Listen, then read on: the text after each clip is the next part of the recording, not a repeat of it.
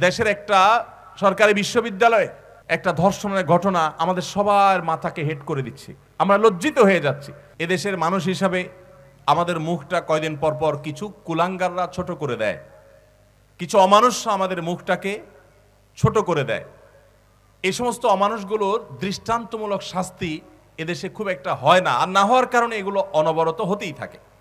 চট্টগ্রাম বিশ্ববিদ্যালয়ের একজন শিক্ষক কর্তৃক শিক্ষার্থী, একজন না কয়েকজন শিক্ষকের বিরুদ্ধে শিক্ষার্থীদের যৌন হয়রানির অভিযোগগুলো নিয়ে রীতিমতো টেলিভিশনগুলো নিউজ করছে। এই ধরনের ঘটনা আমরা অহরহ শুনছি শুনছি, প্রতিনিয়ত শুনছি, প্রায় শুনছি। এই ঘটনাগুলো আমরা শুনছি কেন? কারণ আমাদের দৈনন্দিন জীবন ইসলামের সে প্র্যাকটিস নাই। আমরা ছেলে মেয়েদেরকে সকল বাঁধ উঠিয়ে তাদেরকে আমরা এমনভাবে মিক্স করে ফেলছি যে এগুলো থেকে আসলে খুব অবশ্যম্ভাবীভাবেই ওই মন্দ পরিণতির দিকে আমাদের চলে যেতে হচ্ছে। আমরা পরিষ্কার করে বলতে চাই শিক্ষাক্রম থেকে, পাঠ্যপুস্তক থেকে নৈতিক শিক্ষা, ধর্মীয় শিক্ষা যত কমাবেন, তত দেশের মধ্যে এই রকম অনাচার, অসভ্যতা, বর্বরতা এবং অন্যায়, অনৈতিক কর্মকাণ্ডের পরিমাণ বাড়তে থাকবে। আমাদের দেশে আজ থেকে বিশ পঁচিশ বছর আগে ধর্মীয় চর্চা বেশি ছিল এখনকার তুলনায়। তখনকার মানুষের মধ্যে সততা এখনকার তুলনায় একটু হইলেও বেশি ছিল। যতটা আমরা ধর্মীয় চর্চা থেকে দূরে সরছি, ততটাই আমরা অমানুষ হয়ে যাচ্ছি। আমাদের চরিত্রগুলো ধ্বংস হয়ে যাচ্ছে। শিক্ষা প্রতিষ্ঠানগুলোর এরকম দুরবস্থা নতুন নয়। আমি গতকাল কিনা যেন আজকে দেখলাম যে চট্টগ্রাম বিশ্ববিদ্যালয়ের কয়েকজন শিক্ষক, কেমিস্ট্রির কয়েকজন শিক্ষকের বিরুদ্ধে এ অভিযোগ অনেক শিক্ষার্থী মেয়েরা, মেয়ে শিক্ষার্থীরা তুলেছে যে তারা তাদেরকে যৌন হেনস্থা করেছে এবং জাতীয় গণমাধ্যমগুলোতে নিউজ হয়েছে রীতিমতো। তো এই ধরনের পরিস্থিতি কদিন পরপরই আমরা শুনি, বিশ্ববিদ্যালয় তো বটেই, স্কুল কলেজ লেভেলে পর্যন্ত এরকম যৌন হেনস্থার ঘটনা প্রায় ঘটতে থাকে। আপনারা অনেকে মনে করেন শিক্ষক বাবার দৃষ্টিতে দেখবে, শিক্ষার্থী বা টিচারকে বাবার দৃষ্টিতে দেখবে আর শিক্ষক সন্তানকে ছাত্রকে সন্তানের দৃষ্টিতে দেখবে। এগুলো কথার কথা। এগুলো অবাস্তব, এগুলো ভুল থিওরি। পশ্চিমা দুনিয়ার মানুষরা অনেক দিক থেকে উন্নত, তাদের অনেক মোরালিটি তাদের অনেক শৃঙ্খলা, নীতিনৈতিকতা প্রশংসা করার উপযুক্ত। বাট কর্মস্থলে মেয়েরা যে পরিমাণ যৌন নিগ্রহের শিকার হয়, সেটা চোখ কপালে উঠার মতো। কারণ কি? আল্লাহর যে বিধান, আল্লাহর যে সিস্টেম আল্লাহর যে সুন্না, এটার বাইরে কোনো পদ্ধতিতে মানবতা মুক্তি পেতে পারে না, শান্তি পেতে পারে না।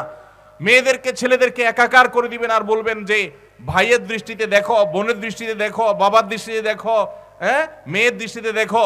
এগুলা কথার কথা এবং ফাঁকা বলি। বাস্তবতা এগুলো না।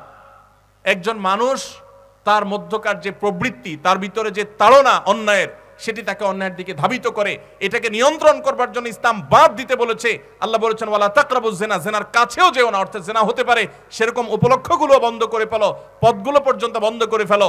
এই জন্য ভাইরা আমার সৌদি আরবে এখন আস্তে আস্তে যদিও অবস্থা খারাপের দিকে যাচ্ছে, কিন্তু যতদিন পর্যন্ত পর্দার বিধানকে তারা শক্তভাবে ধরে রেখেছে, এখনও অনেক দেশের চাইতে ভালো আছে, আলহামদুলিল্লাহ, সেই দেশে কোন মেয়ের দিকে কেউ তাকাবে চোখ তুলে এই দুঃসাহস করতে তাকে দশবার চিন্তা করতে হয়। তাদের মধ্যে অনেক দোষ আছে, সেটা আমি জানি, কিন্তু আমি বলছি যে সাধারণ তাদের সমাজে মেয়েরা কতটা নিরাপত্তা বোধ করে এইটা যদি আপনি চিন্তা করেন, তো পশ্চিমা দুনিয়ার চাইতে বহুগুণ তারা বেশি নিরাপত্তা বোধ করে। এই জন্য ইউরোপ, আমেরিকাতে যারা মুসলমান হয়, ইসলামে আসে অন্য ধর্ম থেকে, পুরুষদের চাইতে মেয়েরা ইসলামে আসে বেশি। কারণ মেয়েরা দেখেছে, ইসলাম তাদেরকে যে সম্মান দিয়েছে, যে মর্যাদা দিয়েছে, পৃথিবীর কোনো ইজম, কোনো মতবাদ সেই মর্যাদা দিতে পারে নাই।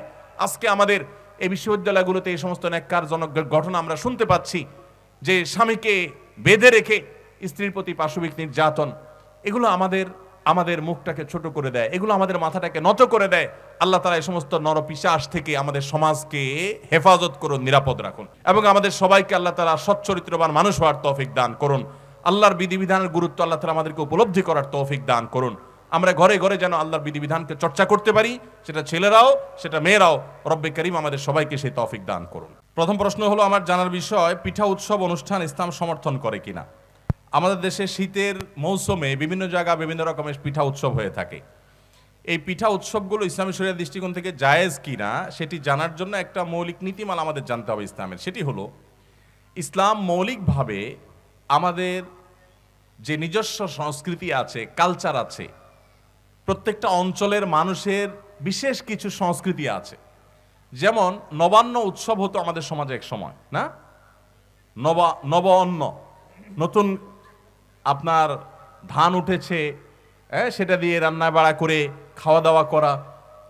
তো এরকম যত আনন্দ, উৎসব, যেগুলো আঞ্চলিক, কোনো সামগ্রিক পরিসরে না, বৈশ্বিক পরিসরে বা বৈশ্বিক পরিমণ্ডলে না, বিভিন্ন অঞ্চলের মানুষের নিজস্ব কিছু সংস্কৃতি থাকে। এই সংস্কৃতিগুলোর কোনোটার সাথে যদি ইসলামের কোনো সংঘর্ষ না হয়, কোরআন এবং হাদিসের সাথে যদি সেগুলোর কোনো সরাসরি বিরোধ না হয় এবং সেখানে শরিয়া বিরোধী কোনো কিছু না থাকে, এই সব শর্তগুলোর আলোকে সেগুলো জায়েজ। সেই আলোকে বলতে চাই যে শীতের মৌসুমে আমাদের সমাজে পিঠা খাওয়ার, পিঠা বানানোর ধুম পড়ে। এটা আমাদের সমাজের সংস্কৃতি, যেটা অনেক দেশে নাই। তারা আমাদের মতো এত পিঠা বানায় না, খায় না, আমাদের সমাজে আছে। অতএব এই উপলক্ষে একটা প্রতিষ্ঠানের স্টাফরা একটা প্রতিষ্ঠানের শিক্ষা শিক্ষা, শিক্ষার্থীরা, শিক্ষা প্রতিষ্ঠানের শিক্ষার্থীরা, অথবা একটা অঞ্চলের মানুষেরা, সবাই কোনো পিঠা উৎসব করল, সেখানে পিঠা বিক্রি করল, সবাই কিনলো, অথবা যার যার মতো বানা আসলো, এগুলো সবগুলো জায়েজ অনুষ্ঠানের মধ্যে পড়বে কয়েক শর্ত সাপেক্ষে। নাম্বার এক, এই পিঠা উৎসবের নামে যদি সেখানে মিউজিকের ব্যবহার এবং ছড়াছড়ি থাকে, এবং সেখানে বাদ্যের তালে তালে, গানের তালে তালে মানুষ এই পিঠা উৎসব উপ- উপভোগ করে, তাহলে এটা হারাম হওয়ার ব্যাপারে কোনো সন্দেহ নাই। কারণ ইসলাম মানুষকে পবিত্র থাকতে বলে। মানুষকে ভোগের উন্মাদনায় মাতাল হতে বলে না। দুনিয়াতে সঠিক এবং বৈধ উপায়ে তৃপ্তি, স্বাদ, ভোগ করা ইসলাম জায়েজ করে। কিন্তু উন্মাদনা করতে ইসলাম বলে না।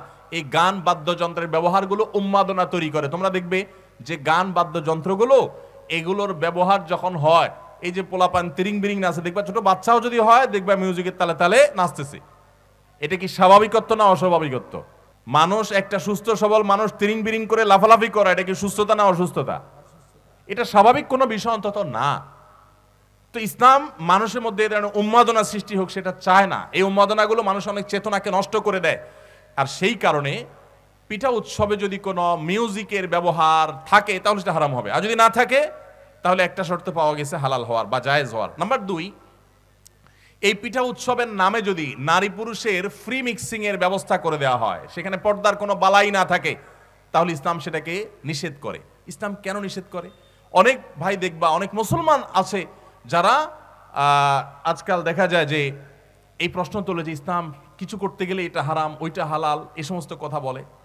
তো আমার সামনে বেশিরভাগ স্কুলের শিক্ষার্থীরা আছে, এছাড়া আরও যারা আছেন, সবাইকে বলতেছি ইসলাম যদি আমাদেরকে কোনো বিষয় নিষেধ করে, আল্লাহ যদি কোনো বিষয় হারাম করেন, সেটা আল্লাহর কোনো স্বার্থে না, আমাদের প্রয়োজনে। আমাদের কল্যাণে। আমরা কোনো কিছু করলে বা না করলে আল্লাহর কিছু যায় আসে না। অতএব এই যে ফ্রি মিক্সিং এবং পর্দাহীনতার সয়লাভ এগুলো আমাদের সমাজকে ধ্বংসের দিকে নিয়ে যায়।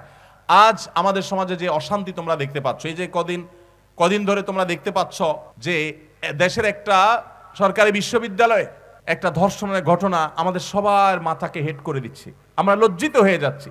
চট্টগ্রাম বিশ্ববিদ্যালয়ের একজন শিক্ষক কর্তৃক শিক্ষার্থী, একজন না, কয়েকজন শিক্ষকের বিরুদ্ধে শিক্ষার্থীদের যৌন হয়রানির অভিযোগগুলো নিয়ে রীতিমতো টেলিভিশনগুলো নিউজ করছে।